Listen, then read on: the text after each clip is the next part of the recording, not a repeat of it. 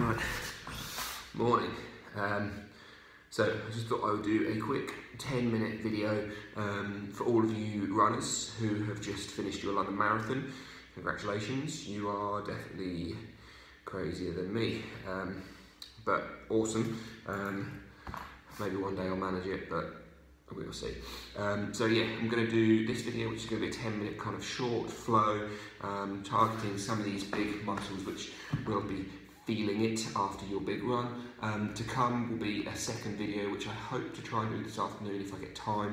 Um, that'll be closer to 45 minutes or an hour, but long static held poses to try to really allow you to relax into those deep tissues, um, which will certainly be feeling it.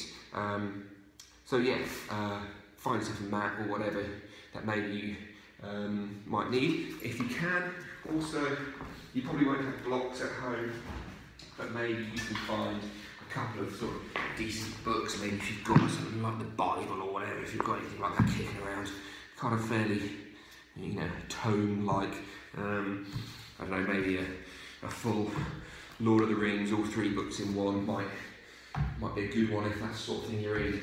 Um, so, we'll find our way and we'll just start standing at the top of our mat. Find feet both facing forwards, toes um, maybe just slightly turn inwards, so we slightly inwardly rotate the thighs. Hands come down by our sides.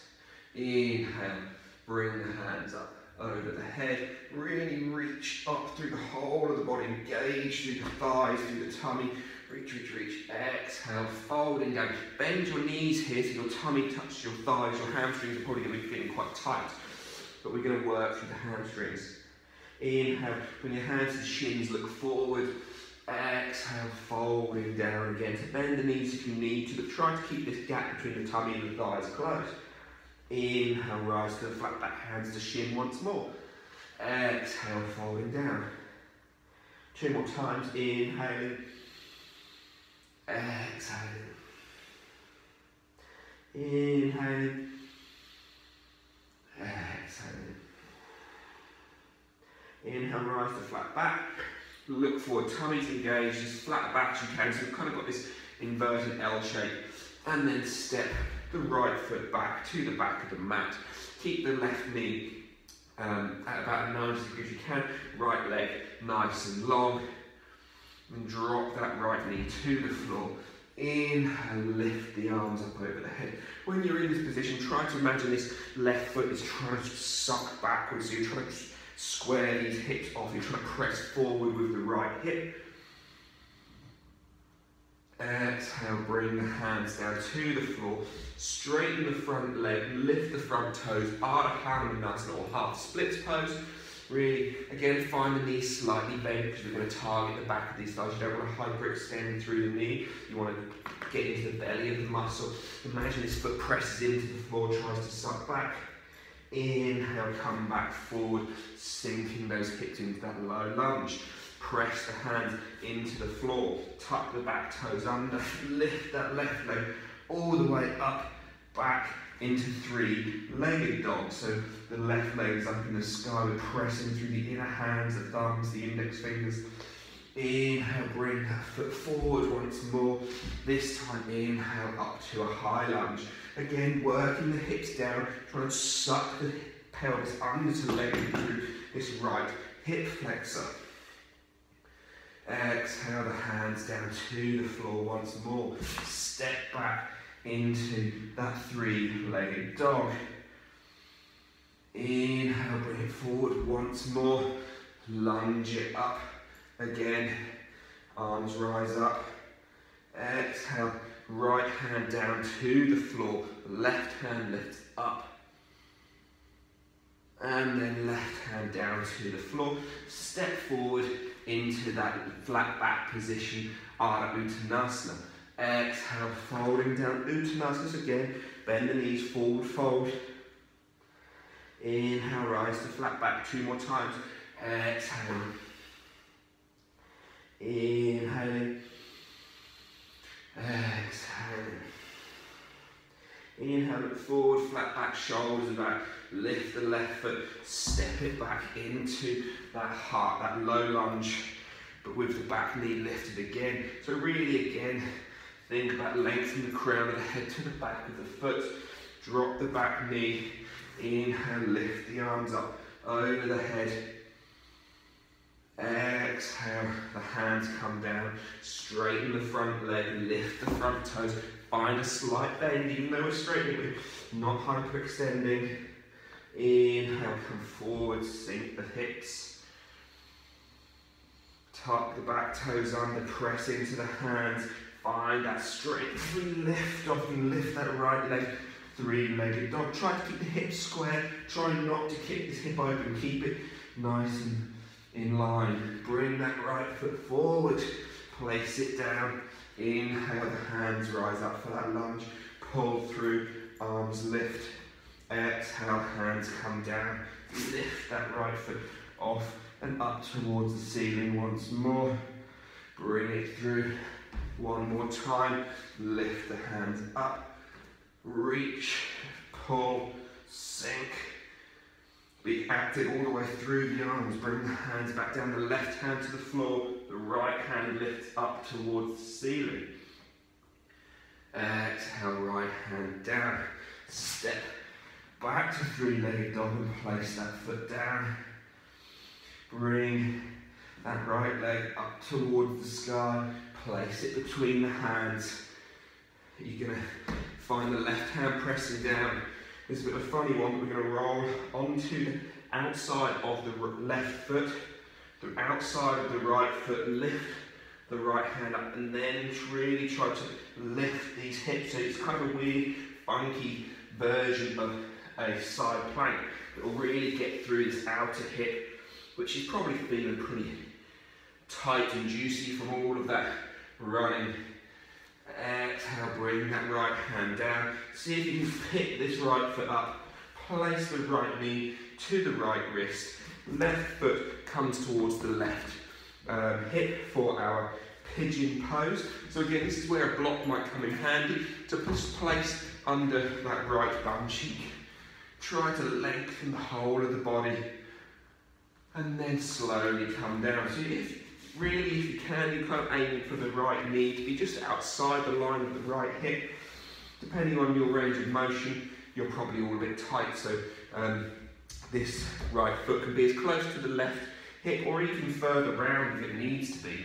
Just sink down, maybe the forearms can touch, maybe they don't. Again, maybe you find a book or something to rest the forearms onto. Just for three, two, and one.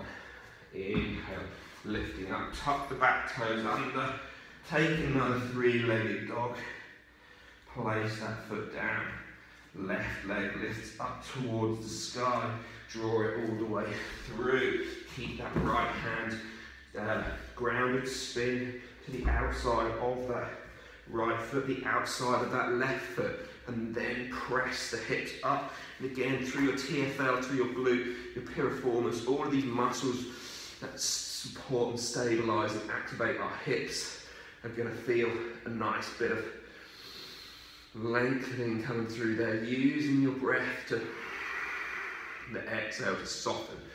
Exhale, that left hand comes down, and we just pick that left foot up, place it down, coming back into that pigeon. So again, if you needed to, a bit easier to see on this side, the block can come under the bum cheek for support.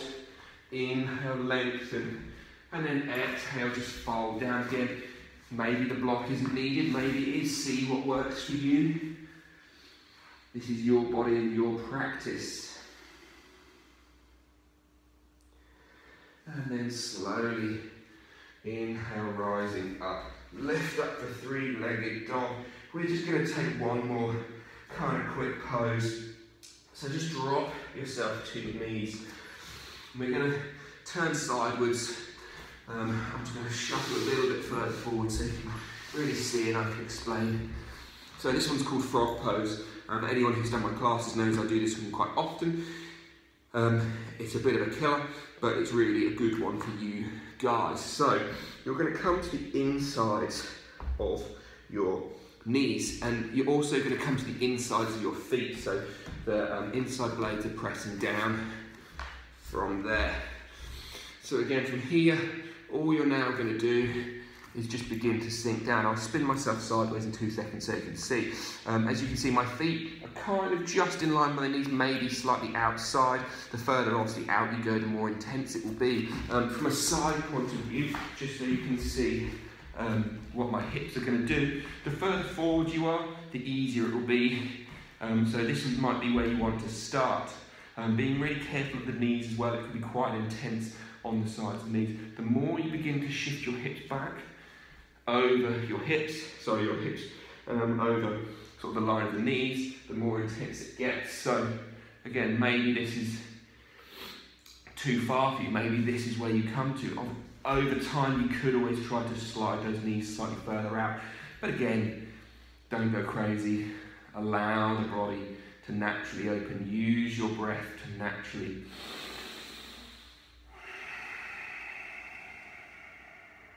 sink into those hips. Taking a couple more breaths here, just a three, two, one. Bring the feet in first, walk yourself back, bring those knees in together. Sit down onto your bum. Just as a little counter pose for that, just allow the knees to fall in towards each other and then maybe just allow them to windscreen wipe up out and about. Lovely job, just like that. Final little bit is always my favourite. Fact, I'll do it straight on just so you can see and I'll look nice and attractive get good shot my bum. So, happy baby pose. What we're going to try and do is bring our knees wide, so we're going to try to get the knees aiming towards the floor. If we can, we can aim to get hold of the toes, the feet, either side. Or if that's too much and we're too tight, get hold behind the knees. Try to keep the head down. Try to keep this gap between the sacrum and the floor as small as possible.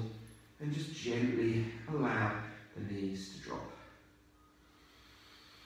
Just for five, four, three, two, and one. Straightening those legs up towards the sky.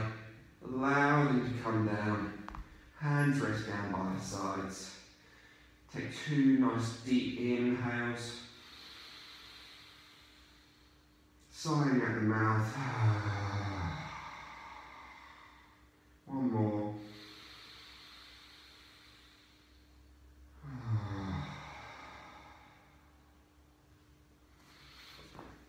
So, like I said, that was just a quick 10 minute um, little flow.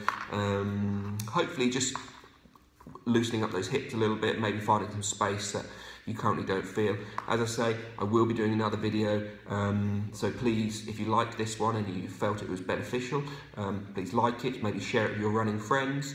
Um, as I say, another video will be coming today or tomorrow, um, so check that one out as well. Again, if you like it, please like it. Um, if I can also ask if you could please like and follow my uh, my YouTube page. Um, and then the more likes I can get, I can actually then name it Mandukya Yoga. It'd Be easier for people to find and to share around. Um, that'd be awesome. Thank you so much. Congratulations again for all you uh, London Marathon runners. You're crazy, but incredible, and you probably all raised stupid amount of money for awesome courses. So congratulations. Thank you so much, and see you soon.